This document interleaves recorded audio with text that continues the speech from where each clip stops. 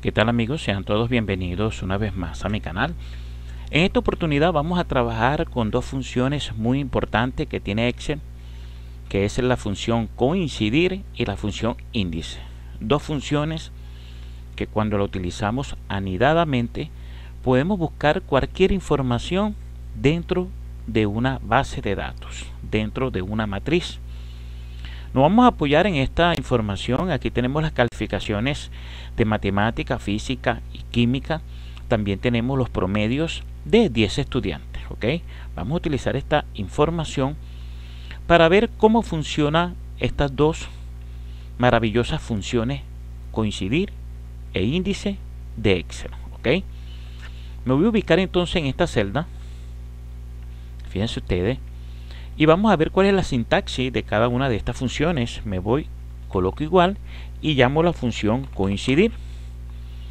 Nos dice que devuelve la posición relativa de un elemento en una matriz que coincide con un valor dado en un orden especificado. Fíjense ustedes que esta función coincidir no me devuelve la información, solamente me dice la ubicación de esa información. ¿Cuál es su ubicación? Ahora vamos a llamar a la función índice. Aquí la tenemos. Y nos dice que devuelve un valor o referencia de la celda en la intersección de una fila y una columna en particular, en un rango especificado. Ahora bien, la función índice sí nos devuelve el valor que estamos buscando nosotros en una matriz, pero le tenemos que dar la fila y la columna. Le tenemos que dar esa posición. ¿Estamos claros? Vamos a hacer lo siguiente. Me voy a ubicar aquí donde dice el valor buscado en la función coincidir en esta tablita. Vamos a llamarla así, tabla. ¿Ok? Y voy a crear aquí una lista desplegable con todos los estudiantes. Fíjense que nos vamos a la barra de opciones en datos. Aquí estamos en datos ya. Nos vamos a validación de datos. Le damos un clic y nos sale esta ventana de diálogo. Aquí donde dice permitir, seleccionamos, desplegamos y seleccionamos lista. Y en origen vamos a seleccionar el rango de los estudiantes y le damos a aceptar. Y fíjense que aparece este botón y yo aquí puedo seleccionar a cualquier estudiante. ¿Estamos claros? Lo mismo vamos a hacer aquí en asignatura. Vamos a crear una lista desplegable. Nos vamos a validación de datos. En permitir desplegamos y seleccionamos lista. Y aquí vamos a seleccionar en origen a matemática, física, química y también el promedio. Y le doy aceptar. ¿Lo ven? Despliego aquí y puedo seleccionar cualquier materia y el promedio. Vamos a seleccionar física. Ahora bien, yo quiero saber qué posición tiene González Fran y qué posición tiene la asignatura física. ¿Estamos claros? Nos ubicamos entonces en esta celda, me voy a la barra de fórmula, escribo igual, llamo a la función coincidir, le doy doble clic y fíjense que me piden el valor buscado. Mi valor buscado es González Fran, es decir, el estudiante González Fran y selecciono la celda. Le doy punto y coma y me piden la matriz. La matriz es donde aparece González Fran. Y la matriz, en este caso, es ese rango de estudiante. Selecciono los 10 estudiantes, aquí lo tenemos, y le doy referencia absoluta a ese rango con F4 y punto y coma. Le doy referencia absoluta para que Excel solamente me trabaje en este, en este rango. ¿okay? Luego me piden el tipo de coincidencia y selecciono coincidencia exacta siempre. Cerramos paréntesis y le doy Enter. Fíjense que me dice que González Fran está en la posición 7 me voy aquí y aquí está González Fran en la posición 7. De, rango que yo seleccioné, González Fran ocupa la posición 7. Ahora bien, vamos con la asignatura. Fíjense que González Fran, cuando, cuando nosotros seleccionamos un rango en una columna, pues no devuelve la posición de esa fila. En este caso, González Frank está en la fila 7 de nuestro rango. De nuestro rango, la matriz que seleccionamos. Vamos entonces con la asignatura. Nos vamos a la barra de fórmulas, escribimos igual, volvemos a llamar a la función coincidir, le doy doble clic, me piden el valor buscado, es la celda donde aparece física, punto y coma, me piden la matriz, pues física aparece en este rango. Selecciono el rango de matemática, física, química y promedio. Recuerden que selecciono todo el rango, incluso promedio, porque en la lista desplegable yo tomé en cuenta también al promedio. Le doy F4 para referencia absoluta, punto y coma, y coincidencia exacta. Le doy doble clic siempre, coincidencia exacta, y cierro paréntesis y le doy Enter. Y me dice que física ocupa la columna 2. Fíjense, 1 y 2 la columna 2 de rango que nosotros seleccionamos.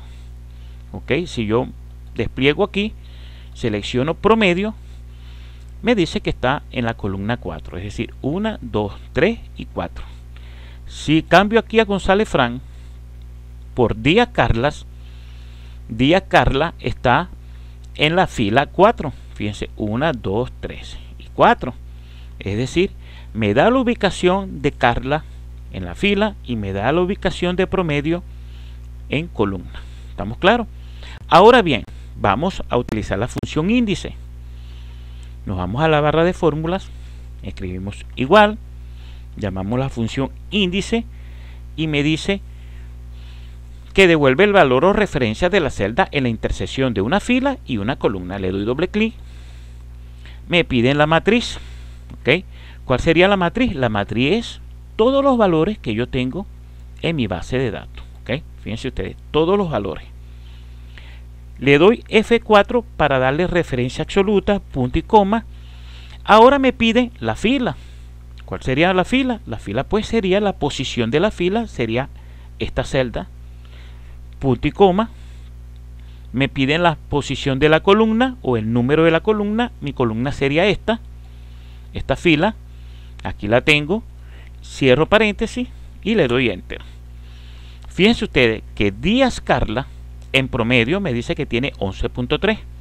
Me voy Díaz Carla en promedio 11.3. No tengo que irme a la matriz, a la base de datos para ver. Ya esta función índice me da la calificación, el promedio de Carla. Si yo selecciono aquí a González Frank, me dice que González Fran en promedio tiene 12 puntos. González Fran, 12 puntos. ¿Estamos claros?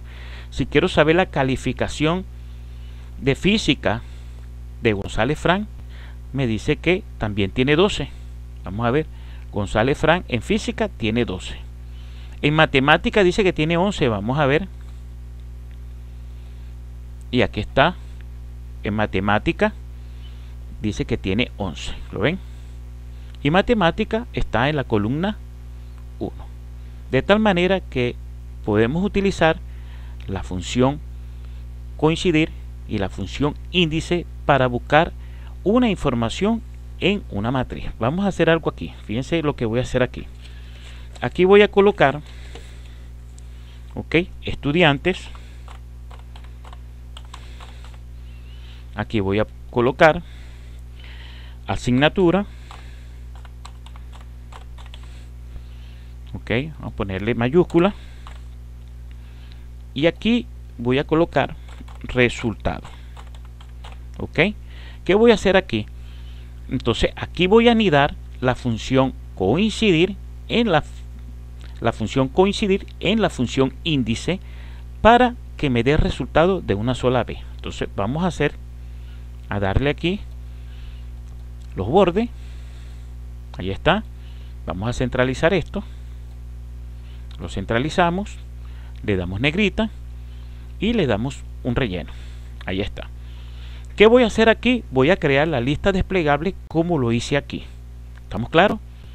Me voy a datos, me voy a datos, selecciono validación de datos, como lo hicimos al principio, selecciono lista y aquí en origen, coloco el rango de los estudiantes. ¿Estamos claros? Le doy a aceptar.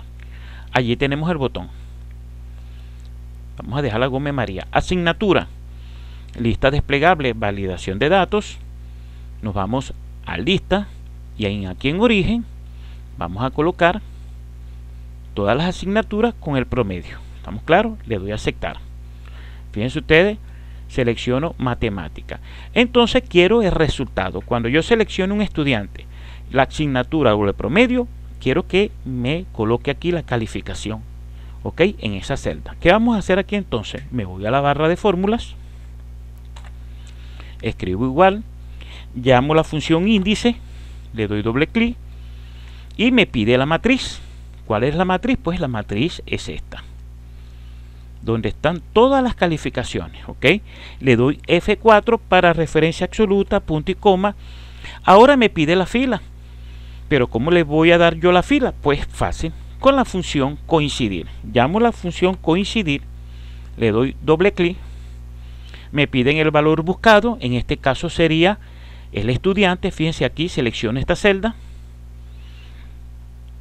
le doy punto y coma, luego me piden la matriz como es el estudiante, selecciono el rango de los estudiantes, F4 para referencia absoluta, punto y coma y coincidencia exacta. Ahí la tenemos y cierro paréntesis. Ya con esto le estoy dando la ubicación de la fila. Punto y coma. Con esto que está aquí, la función coincidir y esta información ya le estoy dando a la función índice eh, la ubicación o la posición de la fila. Ahora nuevamente la función coincidir, valor buscado, en este caso entonces es la asignatura, selecciono esta celda, punto y coma, donde la voy a buscar, la matriz es las tres asignaturas con el promedio, F4 para referencia absoluta, punto y coma, y coincidencia exacta. Cierro paréntesis, este paréntesis es de la función coincidir y vuelvo a cerrar paréntesis que es el de la función índice. Le doy a aceptar y fíjense que me dice que González María en matemática tiene 16 lo verificamos González María eh, Gómez María perdón en matemática tiene 16 vamos a ver cuánto tiene en física cambiamos aquí la asignatura por física y me dice que tiene 14 y cuánto tiene en química en química tiene 15. Aquí tenemos Gómez María en química 15. ¿Cuánto es su promedio? Su promedio es 15. Me dice que tiene Gómez María en promedio. Tiene Gómez María en promedio. El resultado me dice que es 15 y aquí lo podemos verificar. ¿Estamos claros? Vamos a hacer otra cosa fíjense ustedes, me voy a habilitar aquí y voy a poner aquí eh, condición. ¿ok? Ahí está, condición. Vamos que salió un corchete allí, condición. ¿Estamos claros? Ahí está. Y le voy a decir, vamos a darle borde. Le voy a decir aquí con la función si, fíjense ustedes, coloco igual, llamo la función si, le doy doble clic. Mi prueba lógica es que si este valor que está aquí, ok, es mayor o igual,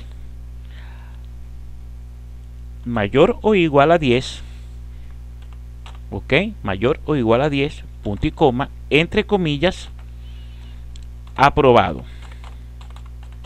Cerramos comillas, punto y coma. De lo contrario, reprobado. Cerramos comillas, ¿ok? Le doy enter y fíjense que aquí me aparece aprobado porque el resultado aquí es 15. Vamos a centralizar esto y vamos a darle un relleno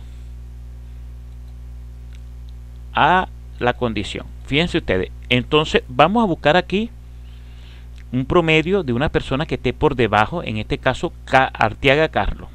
Buscamos Arteaga Carlos, lo seleccionamos y fíjense que me dice que está reprobado. Vamos a quitarle los decimales aquí. Ok y si Arteaga Carlos en matemáticas también reprobó ok matemática vamos a cambiar aquí y colocamos matemática. Y fíjense que 7 y me sale reprobado. Aprobó química. Buscamos química. Tiene 10 11 está aprobado. Arteaga Carlos en física perdón en física tiene 11 está aprobado. Y en química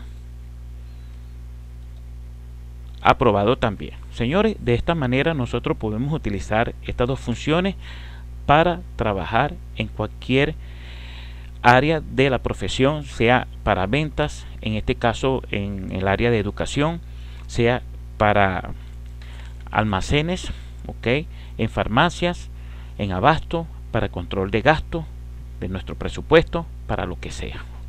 Si le gustó este tutorial, pues denle un like. Espero que les haya gustado. Si lo pueden compartir mejor, si lo pueden comentar también. Y si no están suscritos a mi canal, les voy a pedir que se suscriban y de esta forma me estarán ayudando muchísimo a seguir haciendo este tipo de tutoriales. Se me cuidan mucho. Hasta una nueva oportunidad.